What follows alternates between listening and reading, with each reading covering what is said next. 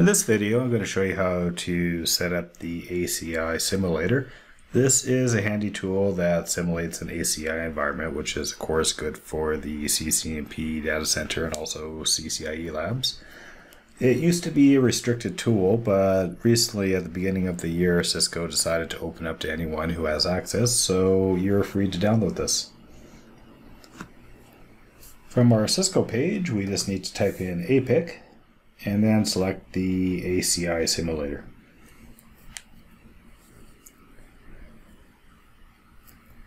Now there are two types of installs. There's the ISO, this is meant for the hardware appliance, and then there is OVAs that are released.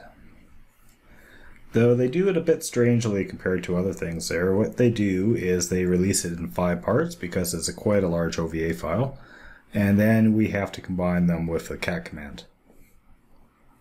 So what I'm going to do is we're just going to download each of these.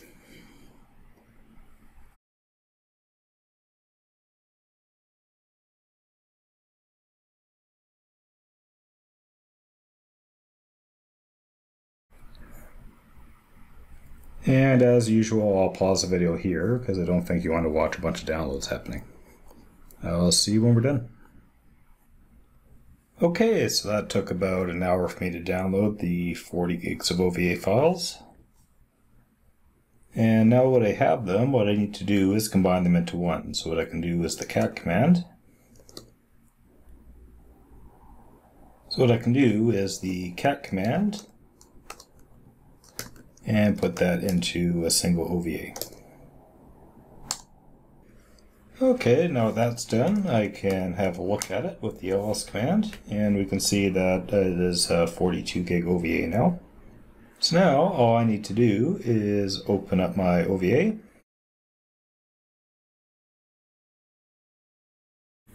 And I'm just going to import this into my VMware Fusion, so I'm just going to call this APIC01 and save it. This will take a bit of time, so I'm just going to pause it. Okay, so that's done. You can see that this solution is going to be using 16 gig of RAM and 8 CPUs, so it, it does take a fair amount of resources to run, but it is better than trying to get a physical lab for an alternative. And then for the networking, I'm just going to go ahead and customize the settings. And I'm just going to set this to suit my environment, which is 310 here.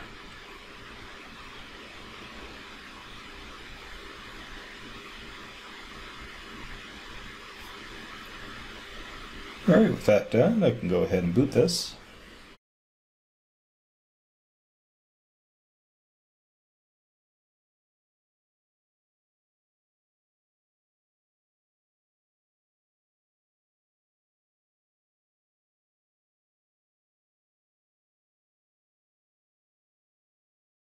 As I mentioned before, um, the earlier versions of this, you actually had to get a special code from uh, Cisco to let the VM boot.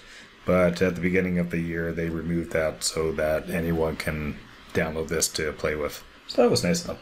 So in this boots is going to start up the setup wizard.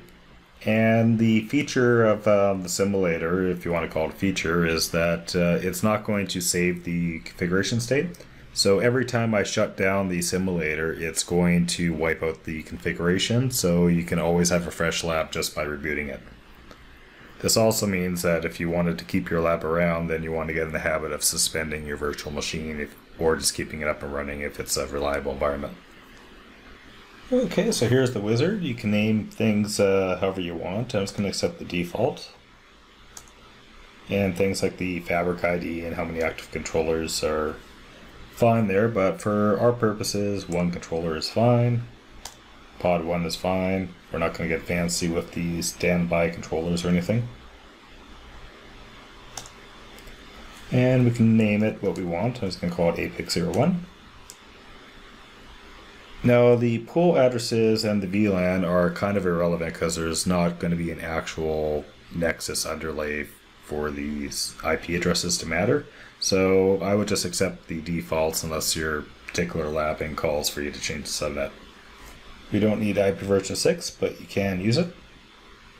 And then we do need to get this an IP address we can reach, so I'm just going to call this 1030.10 oh, I don't know, 77 slash 24. Dot one is my gateway. Let's go ahead and accept strong passwords, or if you want a simple lab, you can go ahead and say no to that. And if we're happy, just say no. If you uh, reflexively say yes, it's just going to start the wizard over again on you.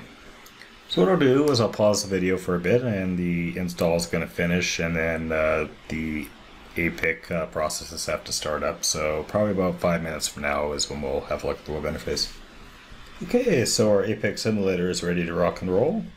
Go ahead and sign in with your username and password that you set. And then uh, I don't want to go too deep into APIC because this is a very deep uh, topic there. So what we're just going to do is go ahead and close the wizard. And I'm just going to show you how to get things initialized. So what you want to do is click on Fabric.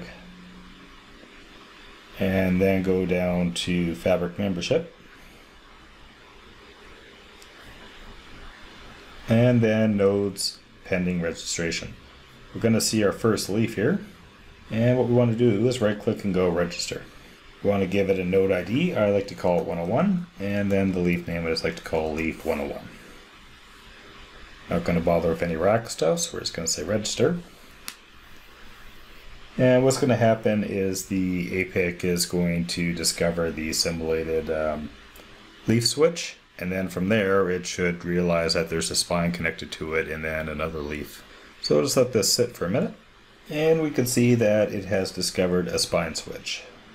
So I'm just going to go ahead and do the same thing and say register.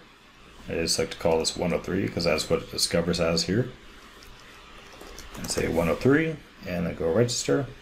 And then we just got to wait a little bit longer until the leaf switch pops up.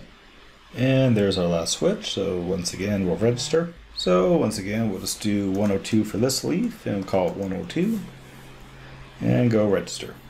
So while that's figuring things out, we can actually look at the topology here. So in the topology, we can see a representation of the ACI network as discovered. So right now we see our leaf switch, our spine switch, and our APIC controller. And once the discovery is done, we should eventually see 102 pop up in here. While we're waiting, this is a mostly featured um, ACI simulator, so you can do pretty much everything that you can do on a real APIC controller. However, the main issue is that there is no underlay there, so obviously you won't be able to do any peering with like a layer 3 out or a layer 2 out or actually add an ESX server. However, you can go ahead and add in like a vCenter if you wanted to play with the orchestration. And part of the reason why I installed this on my laptop is because this is really handy for just having uh, an APIC uh, that you can boot up there. And then if you wanted to do some automation stuff for DevNet or you're doing some CCIE study and you just want to, it's uh, convenient to have it handy with you anywhere you go. This is also handy if you want to tie into things like UCS Director or any kind of orchestration stuff on the Cisco curriculum or other vendors' curriculum. And it's just pretty good test bed. Just keep in mind that there is no actual underlay there, so uh, you won't be able to actually see the OSPF routes. So anyway, this is where I'll leave the video. Uh, the point was just to show you how easy it is to get this up and running, and then when we talk deeper into DC topics later on, or for the DevNet automation stuff, it's uh, easy to go back to this video to get this up and running on your own lab. Alright, I'll see you next time.